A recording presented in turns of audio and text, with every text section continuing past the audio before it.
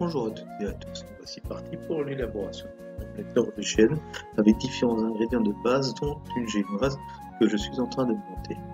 La génoise, tout simplement, une fois montée, il faudra qu'elle ait la bonne forme de bec d'oiseau, terme utilisé en pâtisserie. Ensuite, une fois que les œufs et le sucre ont été blanchis, nous allons y adjoindre tout simplement la farine qui sera tamisée. Certains rajouteront de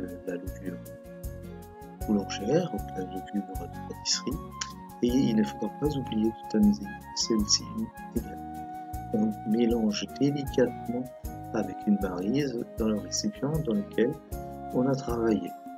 On le mélange délicatement pour incorporer la farine et ne pas avoir de gomme une fois qu'on étalera, car il est très particulier d'avoir une pâte lisse que l'on peut étaler sans particularité grumelleuse et donc euh, étaler avec une spatule.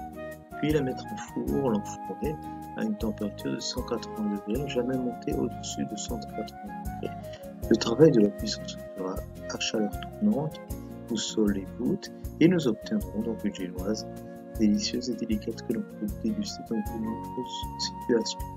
À présent, nous allons couper cette génoise en deux et nous allons la tailler et vous voyez bien que la génoise elle a la particularité d'être fine, lisse, agréable. Ensuite, nous allons reprendre le mélange batteur et monter des blancs d'œufs avec une pincée de sel et un peu de sucre. Particularité, nous allons ajouter un sucre cuit à le démarrage de la meringue est toujours très simple. À petit et ensuite augmenter. Pendant que nous cuisons également du sucre, nous détaillons la génoise. Le sucre, lui, il va être cuit à 121 degrés, du sucre, de l'eau, et nous allons adjoindre délicatement, doucement, ce sucre cuit à 121 degrés dont on aura stoppé la cuisson, et le rajouter pendant que le batteur tourne avec les œufs, les blancs d'œufs plus précisément.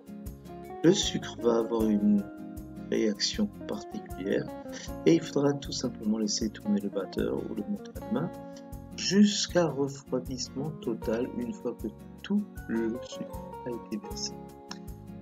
Pendant cette opération, nous pouvons monter la génoise, c'est-à-dire sur une première bande de génoise, nous allons pouvoir mettre de la glace vanille, du sorbet framboise, de la glace vanille. Nous allons faire en sorte que tout soit droit et que l'on puisse masquer avec la génoise, avec, euh, pardon, pour moi, pas la génoise, mais avec le blanc d'œuf. N'oubliez pas d'arriver avec un sirop, votre génoise.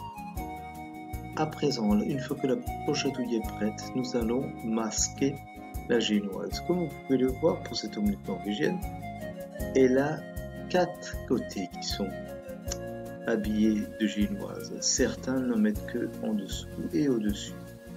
En ce qui me concerne, j'ai toujours pratiqué ainsi en protégeant les quatre côtés. Mais une génoise très fine. Une fois que cette génoise a été habillée, masquée, nous allons pouvoir la mettre au four sur euh, du matériel particulier et puis nous pourrons la servir directement. Attention à toujours penser que votre plat de service doit être adapté. Une autre méthode est et consiste à chauffer du rhum ou un alcool de votre choix. Un rhum est très agréable pour cela.